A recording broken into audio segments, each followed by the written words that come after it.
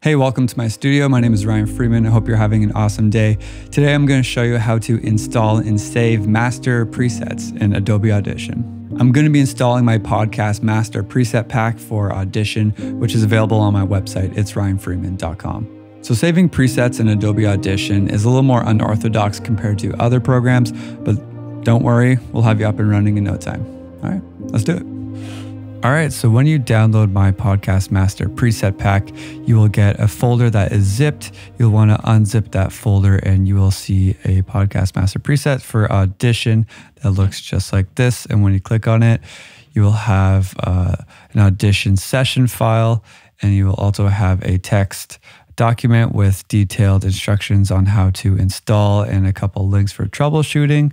That way, if you want to read it, you have the install instructions right there. These are my mastering presets for Audition, GarageBand, and Logic Pro.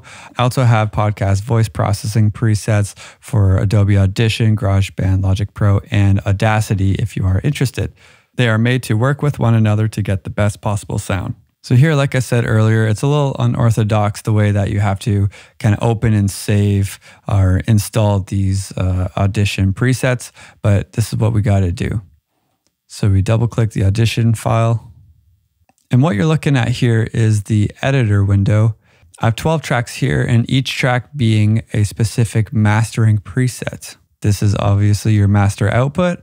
Um, but what we have to do is first save the processing chain in this effects rack window so then we can apply it to our master channel here.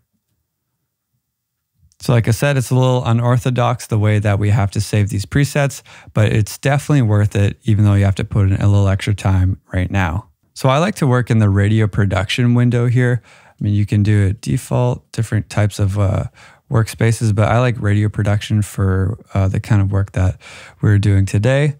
Um, and if you can't find this effects rack window, just go to window, make sure your effects rack is checked. If not, it'll look like that. Make sure it's checked, and there you go.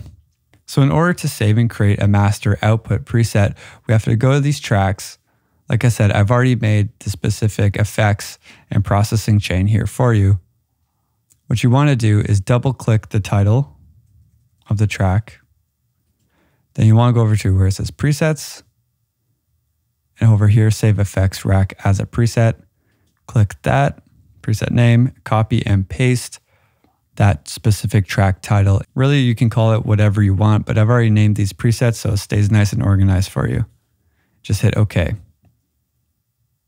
overwrite because I already have it in here.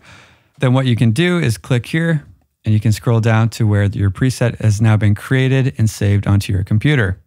As you can see, I have my podcast mastering presets for all these other tracks here that have already been saved, as well as my podcast voice processing presets, which are available on my website. So now that you've done that for the first track, you want to go to the second track and just repeat the exact same thing. Command C, copy that name, Go to the effects rack, save effect, Command V, paste it in, and okay. Of course, yeah, you won't get this overwrite message, but it'll just save, and then there you go.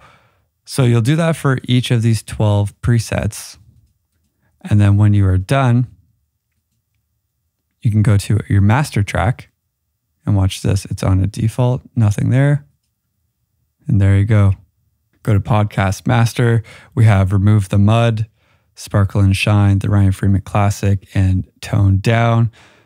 Remove the Mud's pretty self explanatory for very muddy audio. If, if your mix is kind of muddy you, you want to take out some of that dampening sound and brighten it up a bit, this is a perfect preset for you. Sparkle and Shine, kind of similar to Remove the Mud, but a little more bright, adds a little more top end um, than the Remove the Mud the Ryan Freeman Classic is my favorite, my go to uh, processing master output.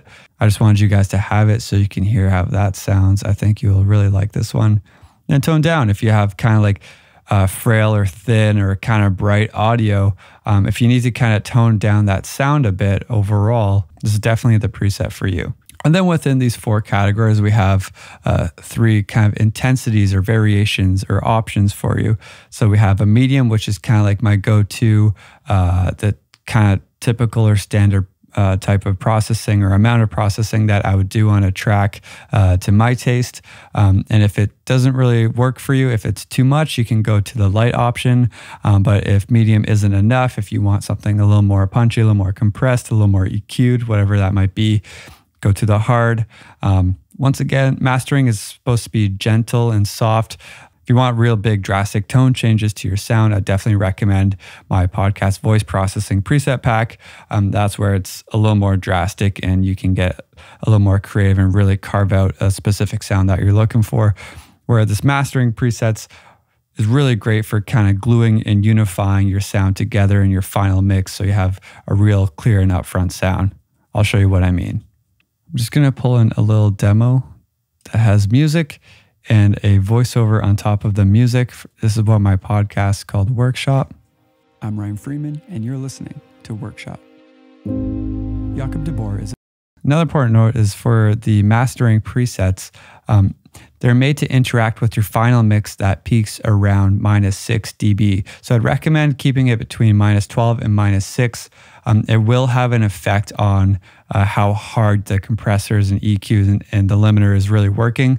So that's where I recommend uh, having it around that minus 6 dB. Fine arts photographer level between that minus 12 and minus 6 as it kind of peaks. So here you go. Here's the before. Then we can go down to our master track go to our saved presets. I'm going to go with the Ryan Freeman Classic Medium.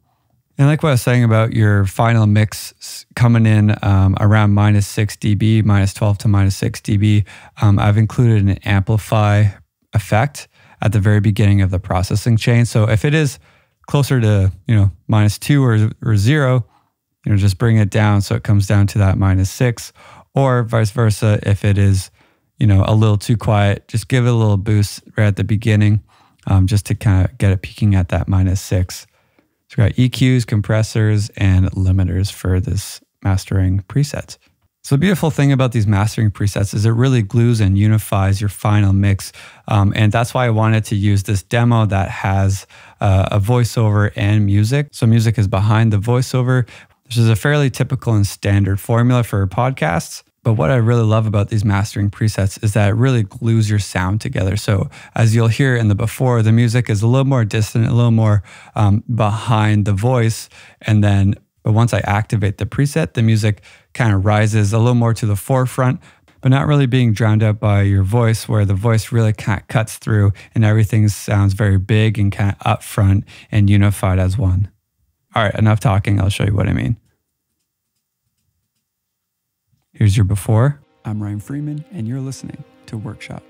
Jakob de Boer is a fine arts photographer working out of Toronto and Paris. He just finished his new photography series called Where Ravens Cry. Here's the after. I'm Ryan Freeman, and you're listening to Workshop. Jakob de Boer is a fine arts photographer working out of Toronto and Paris. He just finished his new photography series called Where Ravens Cry, captured in the Pacific Northwest on large. So as you can see in here, it sounds really great. You get that loudness, things sound more balanced. Um, the music comes a little more up front, but yet the vocal really sits on top of it nicely. So you're really hearing the full soundscape. I mean, this is podcasting, right? So it needs to sound the best that possibly can. So definitely recommend the podcast mastering presets to go along with my podcast voice processing presets because they are made and designed to work in unison with one another to get the best possible sound. Ooh. And that's how I save mastering presets in Adobe Audition. Took a little more time, that's not too bad. If you have any questions, just leave it down in the comments down below. I'll try my best to get back to everyone. If you found this video helpful, please hit that like button and subscribe. I have a lot of great content coming out in the next couple of weeks. All right, now get to making. This video's done. It's over. Over. Goodbye.